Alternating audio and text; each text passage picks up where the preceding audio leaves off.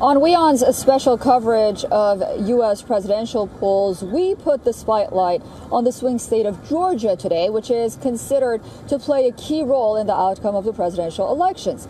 The battleground state has had both a blue phase and a red phase in the past few years. Biden had won the state by nearly 11,000 votes in 2020. Can Kamala Harris repeat that success this November? We'll find out. The battleground state of Georgia remains one of the top prices in the presidential election. With 16 electoral votes, Georgia is in the top 10 among all states in the United States of America.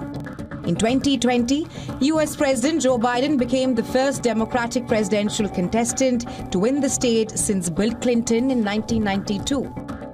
Biden defeated Trump in Georgia by less than a quarter of percentage point, that is a margin of 11,000 votes. In a sense, Georgia has had both a blue phase and a red phase in the past. It is extremely pivotal for the race to the White House, as eight of the past 12 Georgia winners have ultimately won the presidency. Both Trump and Harris have made several visits to Georgia, especially after Hurricane Helene caused massive destruction in the battleground state, claiming 200 lives. Harris also appeared alongside Obama for the first time since the start of her campaign in Georgia. Meanwhile, Trump has also held a slew of rallies in Georgia with his running mate J.D. Vance. He urged his supporters to just vote. Let's now see how Georgia has voted in the past. While Biden won the battleground state in 2020, in 2016, the mandate to the red camp, with Trump winning the polls with a wider margin of about 5 percentage points. In 2012 as well, the battleground state was won by the Republicans. Talking about the demographics of the Peach State, 49.6% of the population is non Hispanic white. Nearly a third of the population, that is 33.2%, is black. 11.1% is Hispanic and 4.9% is Asian. Women voters are another pivotal voting bloc and comprises over 51% of Georgia's population.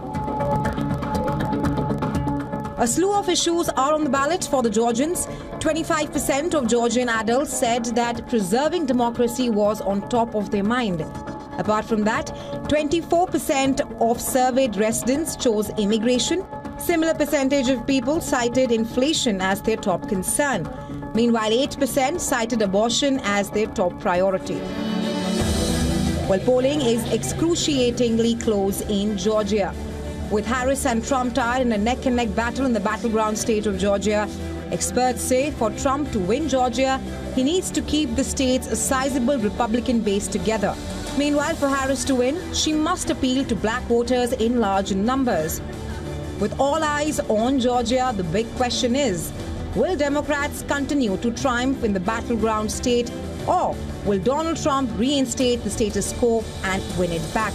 Bureau Report, WION World Is One.